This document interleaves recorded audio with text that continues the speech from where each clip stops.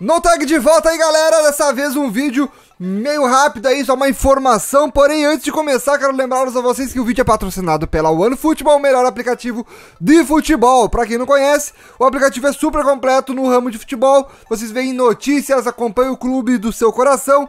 Inclusive aqui já está a notícia do jogo que ocorreu hoje aí entre PSG e Dijon. Sem Neymar, PSG goleia o Dijon na Ligue 1, beleza? Então, manos, bora pro vídeo que eu vou estar falando aqui com vocês. Vou deixar até aí o cenário aí do, da OneFootball mesmo, porque o OneFootball é muito top. Então o link, o link tá na descrição para vocês baixarem.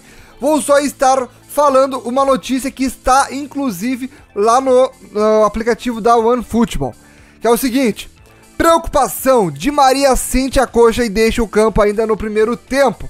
O PSG vai vencendo, ou melhor, venceu, né? O Dijon por 4 a 0 com o gol relâmpago do Sarabia, aos 3 minutos de jogo, mas a torcida parisense está preocupado por outros motivos.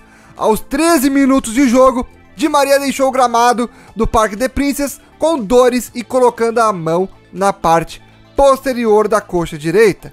O argentino foi substituído pelo Draxler, a preocupação da torcida do PSG é porque no dia 11, agora na quarta-feira, já vai estar enfrentando, não sei se é a semana nova, né?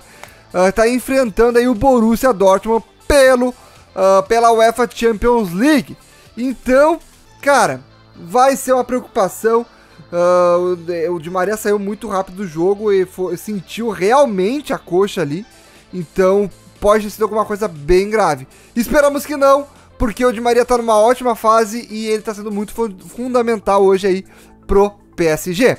Mas então, galera, deixa o like no vídeo, se inscreva no canal para não perder nada.